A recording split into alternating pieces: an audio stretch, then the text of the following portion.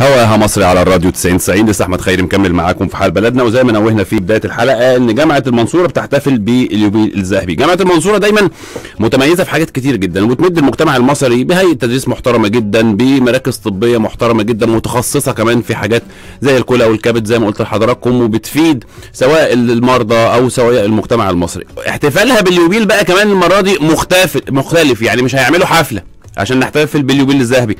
لا هيعملوا مجموعة من الأحداث والفعاليات على مدار السنة يتقدم منها خدمات كتير جدا. تتوافق بقى مع إن الجامعة تبقى من الجيل الرابع فعلا للجامعات وده اللي إحنا بنشوفه الصراحه من تطور هائل بيحصل في الجامعات المصرية. يتماشى بقى مع الجمهورية الجديدة. خلينا نعرف تفاصيل أكتر عن الاحتفال باليوبيل الذهبي من دكتور أشرف عبد الباسط رئيس جامعة المنصورة. يا دكتور مساء الفل. أهلا أهلا مساء النور ازي حضرتك؟ كل سنة وحضرتك طيب وكل سنة والجامعة يخليك. متميزة ومنفردة في آه، مجالات كتير الصراحة وتخصصات أكتر. الله يخليك يا الفكر. مختلف هنا يا دكتور إنك حضرتك عايز تعمل احتفال باليوبيل الذهبي بس احتفال مفيد. أنا بسميه كده مش احتفال بس مجرد ان حفله إن آه، هيئة التدريس وحضراتكم تحتفلوا بالجامعة. لا أنتوا عايزين تمدوا المجتمع كله بالاحتفال. بالظبط كده. هو بص حضرتك هو ال- ال- الغرض الأول من الاحتفال هو التوثيق للتاريخ ده مهم جدا إن إحنا يبقى في الأحداث التي مرت بها الجامعة و يعني منذ بدايتها نوثقها وتبقى موجودة كمرجعية في أي وقت الناس ترجع لها. الحاجة الثانية ودي برضو مهمة جدا إنك أنت تسهم أو تبرز الاسهامات اللي عملها شعب الدهليه من بداية الجامعة من تبرعات مختلفة علشان الجامعة توصل لما وصلت إليه لأن المجتمع المدني ما بيتأخرش. أهل الدهليه دايما آه، يعني آه، عطاؤون يعني وبيبذلوا أو ليهم اهتمام كبير بالتعليم. تمام بس كان الحاجة دايما بينقصهم يا دكتور المايسترو أو اللي يقدر يستقطب المجتمع المدني ويعرفهم يوظفهم إزاي لإمكانياته. وده حضرتك. صراحة برعت فيه. نعم يا فندم وده صراحة حضرتك برعت فيه إنك عرفت تلم القطاع الخاص والمجتمع المدني إنه يفيد فعلا جامعة المنصورة هو ده ويفيد الكلام هو وضع ثقته في المكان يعني نظرا بالظبط. بالظبط.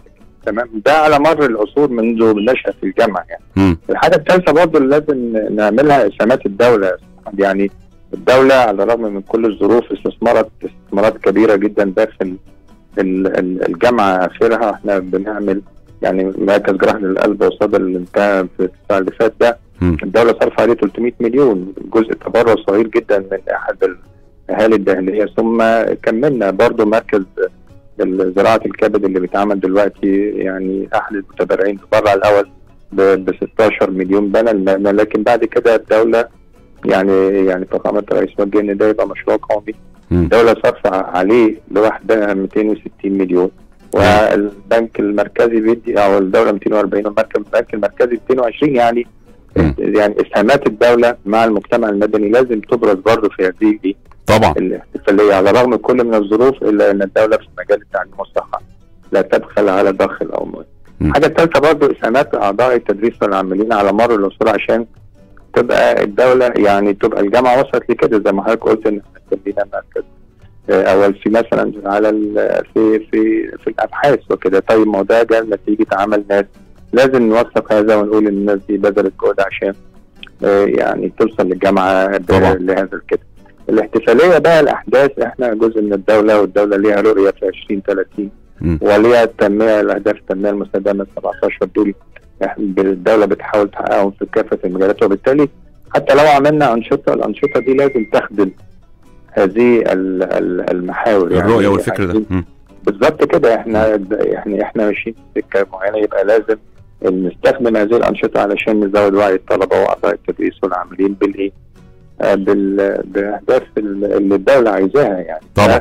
ده, كانت الفلسفة وراء الايه؟ ال- الاحتفالية اذا الاحتفالية مشارك فيها كل الأطراف سواء المجتمع المدني ال- هيئة التدريس داخل الجامعة الطلاب كمان وأعتقد الأهالي كمان هيشاركوا لازم يا فندم ما هو لازم كده وإلا زي ما قلت لحضرتك هي يعني هي جزء ال- الناس كلها مشاركه فيه مش مجرد ال- ال- ال- الجامعة فقط. مجهود محترم جدا وكل سنة وحضراتكم طيبين. دكتور أشرف عبد الباسط رئيس جامعة المنصورة كل الشكر لتواجد حضرتك معانا وربنا يوفقكم إن شاء الله بإذن الله في كل أشكال التطوير اللي بتتم في جامعة المنصورة تحديدا وفي كل الجامعات المصرية عشان فعلا توصل إنها تبقى من الجيل الرابع وتتواكب فعلا مع الجامعات العالمية. وإحنا بنشوف حتى يمكن زياره سيادة الرئيس الأخيرة وشكل من أشكال التعاون اللي هيتم كمان في مجال التعليم سواء ما قبل الجامعي أو ما بعد الجامعي. سيادة الرئيس واخد موضوع بناء الإنسان سواء الصحة أو التعليم سواء التعليم ما قبل الجامعي التربية والتعليم أو وزارة التعليم العالي مع دكتور خالد غفار. مجهود كبير جدا زي ما دكتور أشرف قال. الدولة مركزة قوي في موضوع التعليم وده ملموس الصراحة جدا في الجامعات المصرية. خلصنا حلقتنا النهارده ولكن دقايق هتكون معانا زميلتنا العزيزة سمر إبراهيم وإطلالة اخباريه